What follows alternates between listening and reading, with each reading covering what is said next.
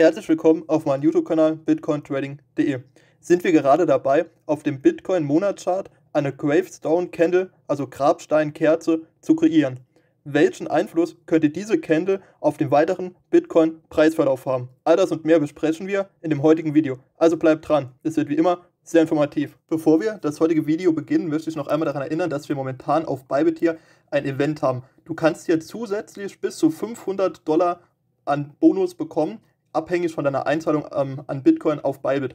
Aber selbst wenn du nur dich über meinen Link anmeldest und keine Einzahlung an Bitcoin vornimmst, erhältst du hier einen 20-Dollar-Coupon zusätzlich. Das bedeutet also, du kannst insgesamt über meinen Link auf Bybit bis zu 620 Dollar sparen. Einmal die 100 Dollar über die Rewards Hub, die stehen dir immer zur Verfügung. Dann an, abhängig von deiner Einzahlung an Bitcoin bis zu 500 Dollar, aber auch unabhängig von deiner Einzahlung auf Bitcoin auf jeden Fall hier nochmal 20 Dollar. Wenn du also auf Bybit noch nicht registriert bist, aber vorhast zu traden, kann ich dir also empfehlen, jetzt die vier Zeiten anzumelden, denn dieses Event läuft nur bis zum 4. Februar. Zusätzlich kannst du also auf meinen Kanal gehen und ich kann dir empfehlen, dir einmal mein Bybit-Tutorial hier anzuschauen. Der erkläre ich dir ganz genau, wie die Plattform funktioniert, wie du Long und Short auf Bitcoin oder beispielsweise auch Ethereum gehen kannst und wie du auch deine Position managst und wie du auch deinen ähm, Reward hier, also deinen Zusatz mit dem Code Jackpot in Anspruch nimmst. All das erkläre ich dir hier in diesem Video. Und jetzt beginnen wir mit dem heutigen Video. Wir befinden uns auf dem Bitcoin US-Dollar Wochenchart. Und in meinem letzten Video, das war hier dieses Video, da haben wir den aktuellen Bitcoin-Chart von dem 4-Stunden-Chart bis zu dem Monatschart genau analysiert. Und ich habe euch genau gesagt, worauf ihr achten sollt und worauf der, was der entscheidende Faktor ist, ob ihr in der mittelfristigen Frist, also in den nächsten Tagen bis Wochen, eher wieder eine Bewegung Richtung All-Time High sehen oder eine weitere Seitwärtsphase mit Korrektur in Richtung der 27.000 bis 24.000 Dollar. Und als wir hier auf dem Monatschart waren, habe ich euch gefragt, ob ihr Interesse an einem Video habt, wo ich euch hier diese Candles euch genauer erkläre. In den Kommentaren haben einige danach gefragt, ob ich ein gesondertes Video zu dieser Thematik aufnehmen kann. Deswegen machen wir heute das Video. Und jetzt kehren wir auch gleich hier auf eine sehr interessante Seite, die heißt Investopedia. Hier kann man allgemein verschiedene Fachbegriffe und auch verschiedene Indikatoren rund um Trading und, und in langfristige Investitionen nachschauen. Ich würde euch aber empfehlen, wenn ihr Englisch könnt, die englische Seite aufzurufen, da die deutlich informativer als die deutsche Seite ist, meiner Meinung nach. Und hier sehen wir jetzt auch schon gleich die drei verschiedenen Haupt-Candle-Typen, zwischen denen wir entscheiden. Wir haben hier einmal die Gravestone Doji. Diese ähm, Candle zeichnen sich dadurch aus, dass wir einen sehr, sehr kleinen Candle-Körper haben und einen sehr langen Docht nach oben. Diese Candle, wenn ihr die seht, ist eine sehr bärische Candle und die deutet darauf, dass wir danach meistens eine sehr starke langfristige Korrektur sehen. Das genaue Gegenteil von der Gravestone Doji ist die Dragonfly Doji. Diese zeichnet sich dadurch aus, dass wir einen sehr kleinen Candle-Körper haben und einen sehr langen Docht nach unten. Wenn ihr diesen, diese Candle seht, beispielsweise auf dem Wochenchart oder auch auf dem Monatschart, dann könnt ihr davon ausgehen, dass wir danach in den nächsten Wochen ähm, eine bullische Bewegung sehen. Und genau zwischen diesen beiden Dojis liegt die Long Leg Doji. Ihr seht, wir haben hier einen sehr kleinen Candle-Körper in der Mitte und einen gleich langen Docht nach oben und nach unten. Und das drückt eigentlich schon bildlich aus, wofür diese Candle steht. Das bedeutet, dass hier einmal die Bullen und die Bären gleich stark sind. Und deswegen ist es auch üblich, dass wir nach dieser Kerze eher eine Seitwärtsphase sehen in der sich dann entscheidet, ob die Bullen die Überhand gewinnen, wir eine Aufwärtsbewegung sehen, oder ob die Bären die Überhand gewinnen und wir eine Abwärtsbewegung sehen. Allerdings kann diese Candle auch am Ende beispielsweise einer Aufwärtsbewegung stehen und dann anzeigen, dass wir quasi den Trend wechseln in einen Abwärtstrend. Diese Kette ist also etwas tricky, aber jetzt gehen wir einmal hier in den Bitcoin-Wochenchart und ich zeige euch ein paar Beispiele jeweils aus der Praxis zu diesen Kerzen. Was ich noch sagen möchte, wenn ihr euch hier genauer ähm, für diese Kerzen interessiert, könnt ihr euch hier diese Seite auf Investopedia auf jeden Fall anschauen. Hier werden auch nochmal gesondert ausführlich die Gravestone, Longleg und Dragonfly Fly Doji erklärt. Jetzt ähm, schauen wir uns einmal den Bitcoin Wochenchart an. Okay, wir befinden uns auf dem Bitcoin Wochenchart und jetzt zeige ich euch verschiedene Beispiele zu einmal der Gravestone Candle und der ähm, Longlegged ähm, Doji Candle. Und Marktteilnehmer von euch, die schon länger bei dem Bitcoin dabei sind, erinnern sich bestimmt noch hier an diese Rallye aus 2019. Wir sind von 3300 Dollar nach diesem einjährigen Bärenmarkt. Hier haben wir den Boden geformt und hatten diese schöne Aufwärtsbewegung bis auf 13.890, also rund 14.000 Dollar. Und viele, für viele kam damals hier diese Abwärtsbewegung etwas überraschend, aber wenn man die Candle genauer analysiert hat oder sich allgemein mit der Candle-Analyse auskennt, war diese Abwärtsbewegung hundertprozentig voraussehbar und das einzig allein durch diese Candle, denn wir sehen hier wirklich eine Bilderbuch Gravestone Candle. Wir haben hier diesen ganz kleinen Körper und diesen ganz langen Docht nach oben. Die bedeutet also, wir hatten hier vorerst ganz, ganz, ganz, ganz viele Käufer, die den Markt, die die Kerze hier von 10.700 Dollar auf knapp 14.000 Dollar hochgepumpt haben und dann kamen die Bären rein, hatten einen extremen Verkaufsdruck. Dadurch ist dieser lange Candle Docht entstanden und dann, als diese Kerze hier geschlossen wurde, war ganz klar, das ist eine Gravestone ähm, Doji. Und wir sehen, die hat dazu geführt, dass diese sehr lange Aufwärtsbewegung in eine rapide Abwärtsbewegung gewechselt ist. Wir sehen also, diese Gravestone ähm, Doji ist typisch dafür anzuzeigen, dass eine extreme bullische Aufwärtsbewegung geendet ist und wir wechseln dann nach, typischerweise nach dieser Candle in eine starke Abwärtsbewegung. Also habt ihr hier schon mal ein exemplarisches Beispiel wie aus dem Bilderbuch für eine Gravestone Doji. Und ihr seht, die ist meistens am Ende eine Aufwärtsbewegung. Wir haben hier ein Plow of Top, eine Kapitulation. Und dann wechseln wir hier in einen rapiden Abwärtstrend. Und was auch noch sehr ähm, üblich ist, nach so einer Gravestone, ähm, Gravestone Doji sehen wir meistens hier nochmal einen Dead Cat Bounce, das heißt mit einer weiteren Kerze versuchen wir nochmal zu unserem Top zu gelangen, bilden nochmal hier diesen schönen langen Docht, das heißt hier sind die Beeren also auch nochmal ordentlich in Überhand, verkaufen hier schön alles ab und dann geht es rapide runter. Das ist die Gravestone Doji. Und jetzt haben wir hier zum Beispiel ein kleines Beispiel für eine Long Leg Doji. Ihr seht, wir hatten hier unsere erste schöne Aufwärtsbewegung. Dann haben wir hier diese Long Leg Doji. Das bedeutet, hier sind die Beeren gleich stark wie die Bullen. Deswegen haben wir einmal diesen Docht nach oben und nach unten und diesen kleinen Candle-Körper in der Mitte.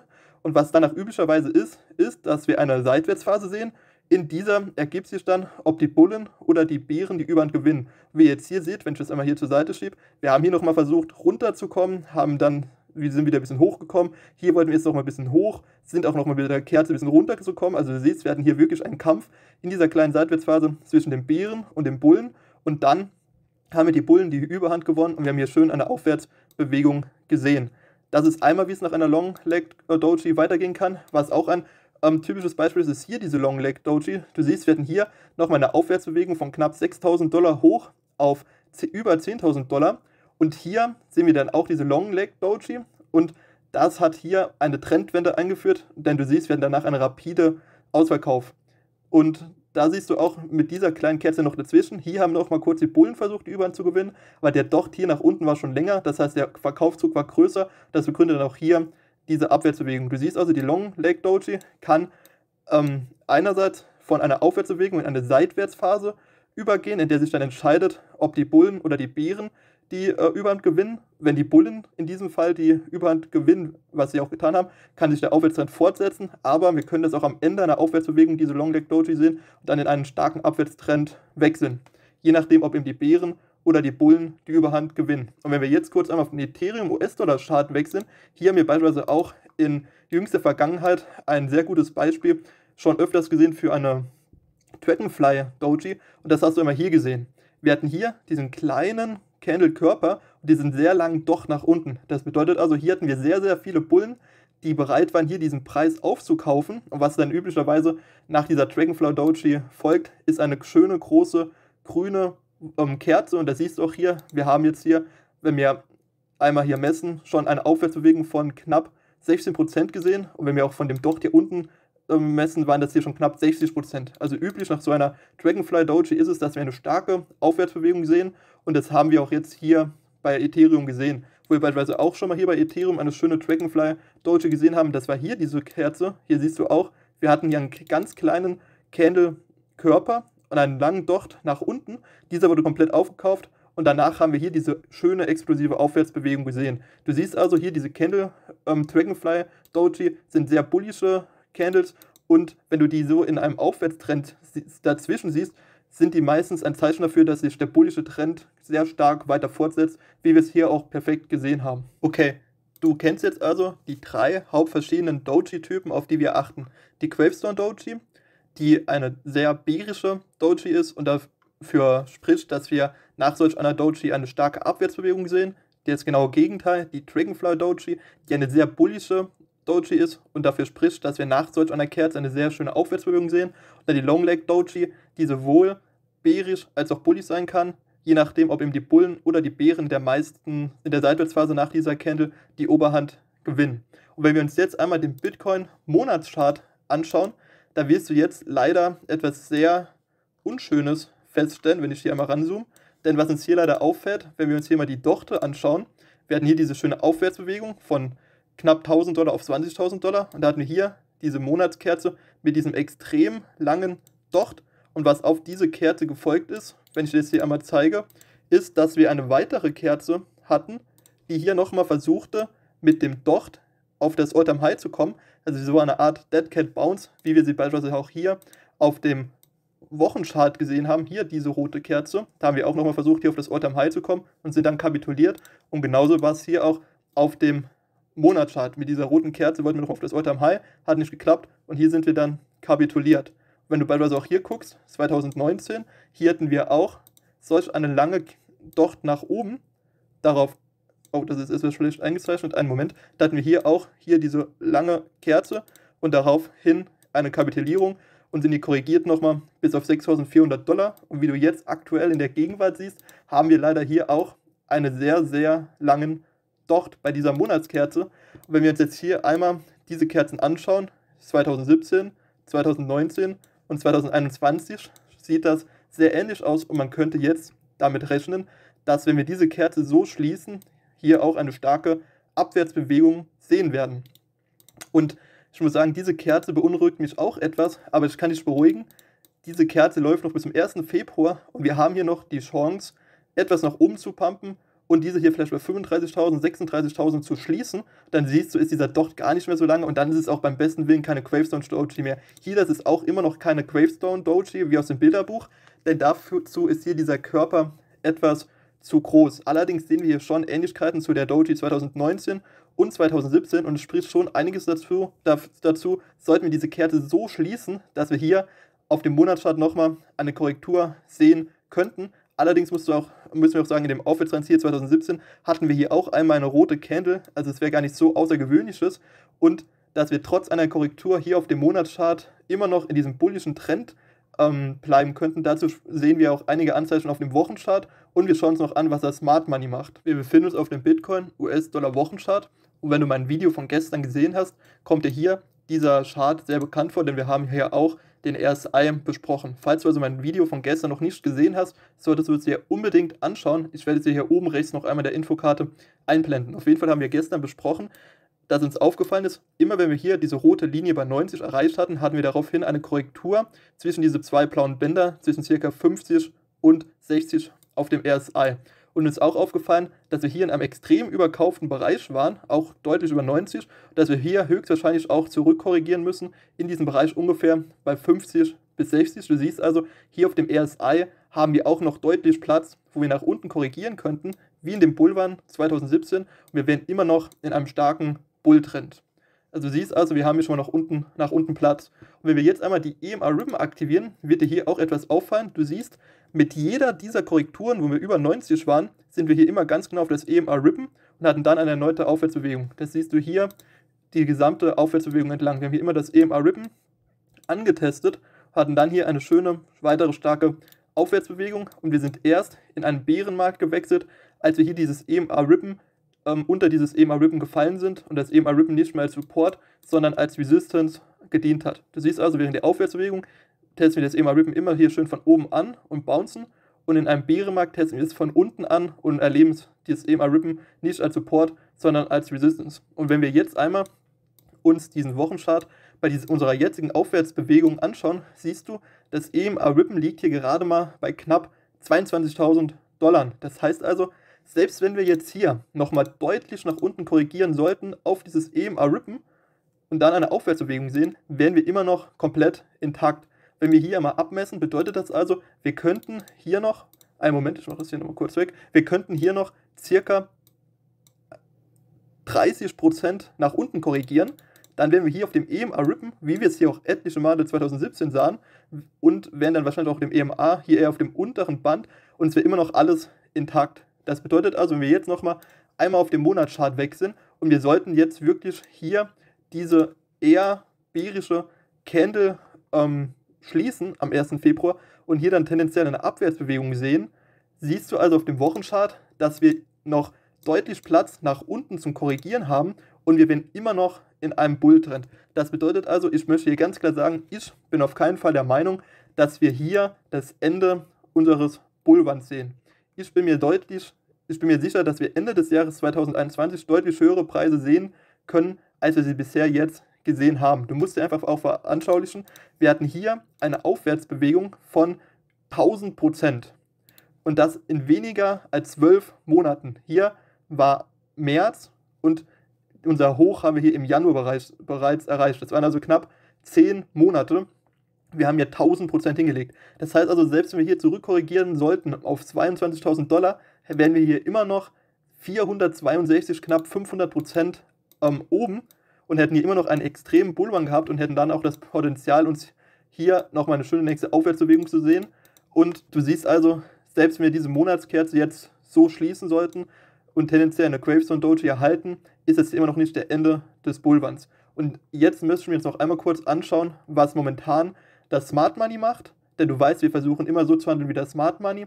Und dann schauen wir noch einmal ganz kurz auf den Bitcoin 4-Stunden-Chart. Und das Interessante ist, wie ihr schon wisst, das Smart Money ist momentan am Akkumulieren. Wir haben hier gesehen, Wale haben hier bei 40.000 und 35.000 noch extrem Bitcoin nachgekauft und wir sehen ein All-Time-High an Wallets, die 1000 oder mehr Bitcoin halten und gleichzeitig sehen wir aber auch, dass kleinere Wallets, also das die Weekend und das Dump Money verkaufen und das Smart Money kauft es auf. So haben wir beispielsweise auch gesehen, als Gravescale nochmal hier seine Pforten geöffnet hat, wurden am einen Tag das 18-fache an Bitcoin aufgekauft, als überhaupt gemeint wird. Es waren hier 600 Millionen an einem einzigen Tag, die von Kunden über Grayscale akkumuliert wurden. Was auch interessant ist, einmal die Bitcoin ähm, Supply anschauen auf Glazenode, seht ihr, wir haben hier einmal diese blaue, diesen blauen Balken, den orangenen Balken und den schwarzen Balken. Ich zeige euch das hier nochmal auf einem anderen Schaubild. Hier sehen wir es besser. Wir haben hier diesen blauen Balken, orange und schwarz. Alle hier die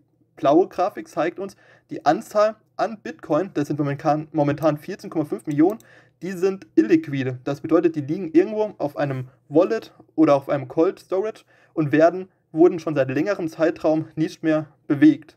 Das bedeutet also, ein Großteil aller Bitcoins liegen auf Wallets oder auf Cold Storage und werden nicht bewegt. Das heißt, die stehen nicht zur Verfügung zum Kaufen oder Verkaufen. Die sind also für den Markt nicht verfügbar. Das bedeutet also, es gibt sehr große Bitcoin-Player, ähm, Rails, die also Bitcoin horten und das kann nur einen Grund haben. Sie wollen sie erst in ein paar Jahren verkaufen, weil sie davon ausgehen, dass der Bitcoin-Preis noch enorm steigen wird. Wenn wir dann anschauen, hier diese Orangenen, die sind liquide, das sind gerade mal nur 1,2 Millionen Bitcoin, und das heißt, die werden also im Tages- oder Wochentakt gehandelt und dann die hochliquiden, das sind gerade mal nur 3 Millionen Bitcoin, das ist hier dieser rote Anteil, das sind die, die täglich zum Kaufen und Verkaufen zur Verfügung stehen. Du siehst also, nur ein minimaler Bruchteil der gesamten Bitcoin im Umlauf sind überhaupt dafür da momentan zum, als Angebot zum Verkaufen oder Kaufen. Und das bedeutet also, dass wir hier sehr große Bitcoin-Rates haben, die ihre Bitcoin gar nicht dem Markt zur Verfügung stehen stellen, sondern sie akkumulieren, da sie in der Zukunft von höheren Preisen ausgehen. Und wenn wir uns dann beispielsweise auch hier noch anschauen, gerade als wir diesen Dip bei ca. 32.000 Dollar haben, haben auch Rates wie beispielsweise MicroStrategy nochmal mit 10 Millionen nachgekauft. Du siehst also hier insgesamt, das Smart Money ist am Akkumulieren. Wir haben ein All-Time-High an Wallets mit 1000 oder mehr Bitcoin. Wir sehen, dass auch große Institutionen und reiche Einzelpersonen über Grayscale enorme Nachfrage an Bitcoin haben. Hier das 18-fache an einem Tag, was gemeint wird, aufgekauft haben. Und wir sehen auch hier, die meisten Bitcoin sind illiquide, heißt also, sind gar nicht auf dem Markt verfügbar und das spricht für sich, also dass große Rails deutlich höhere Preise in der Zukunft erwarten. Und das passt genau zu dem Schaubild, wie ich es hier schon wirklich öfters erklärt habe. Und das musst du wirklich verstehen. Wir sehen, das Smart Money kauft hier unten und verkauft hier oben, wo seine Profite realisiert. Das Dump Money allerdings kauft hier oben bekommt dann bei einer Korrektur, wie wir sie jetzt sehen, Angst und verkauft billig. Hier unten deckt sich das Smart Money nochmal ein, wie wir es gerade sehen. Dann kommt die nächste Aufwärtswelle. Hier oben kauft wieder das Dump Money und das Dump Money verkauft hier. Das heißt also, wie ich es euch gesagt habe, zu dem Zeitpunkt, wo wir hier oben auf 42.000 Dollar waren, habe ich euch gesagt, Achtung, pass auf. Der Crypto 4 and Greed Index war auf 95 und die Bitcoin-Suchbegriffe hatten, waren auch Richtung All-Time High. Und ich habe euch gesagt, Achtung, das Dump Money kommt momentan in den Markt. Wir sehen zeitnah eine große Korrektur sehen. Und genau das haben wir gesehen. Und jetzt stellt ihr euch mal vor, wir korrigieren nochmal runter auf 22.000 Dollar. Und das Dump Money hat hier oben bei 42.000 gekauft und wir korrigieren nochmal hier runter auf 22.000. Dann wird hier genau dieses Schaubild nochmal wahr werden. Das Dump Money kauft hier oben, wir sehen eine Korrektur auf 22.000, das Dump Money bekommt Angst, verkauft wieder, was macht das Smart Money? Kauft hier unten, ähm, realisiert seine Profite, lacht sich kaputt, kauft dem Dump Money billig seine Bitcoin ab und dann pumpen wir auf ein neues All-Time High und das Dump Money steigt immer zu spät ein, kauft teuer, verkauft billig, das Smart Money kauft billig, verkauft teuer. Das bedeutet also, wenn wir uns das anschauen, sollten wir wirklich eine Korrektur auf 22.000 sehen, ist der Boulevard nicht zu Ende, sondern dann ist meiner Meinung nach der perfekte Zeitpunkt gekommen, um langfristig Bitcoins günstig zu akkumulieren. Aber das ist nur meine Strategie. Wie gesagt, ich bin kein Finanzberater, ich erzähle euch nur das, was ich mache. Und jetzt schauen wir uns doch mal ein, ganz kurz den Bitcoin 4-Stunden-Chart an. Wir befinden uns auf, auf dem Bitcoin US- oder 4-Stunden-Chart und du siehst, die Situation hat sich ja seit meinem gestrigen Bitcoin-Video nicht geändert. Wir haben hier immer noch diese zwei Szenarien, auf die wir achten müssen, die hier mittelfristig den nächsten Bitcoin-Verlauf bestimmen werden. Wir haben einmal das bullische Szenario, wir schaffen es über das EMA-Rippen und über, diese, ab, über diesen Abwärtstrend, bestätigen ihn, dann können wir hier eine schöne nächste Aufwärtswelle sehen. Oder wir werden weiterhin, wie hier auch in der Vergangenheit schon, von dem EMA-Rippen immer wieder runtergedrückt, wechseln hier weiter in diese Seitwärtsphase, schaffen es nicht, das EMA-Rippen hinter uns zu lassen, und ähm, uns darüber zu etablieren, sondern testen hier noch einmal diese obere Linie des Abwärts, äh, dieser Abwärtstrendlinie an und preschen dann unter die 30.000, bestätigen sie hier als Resistance und sehen dann eine Abwärtsbewegung.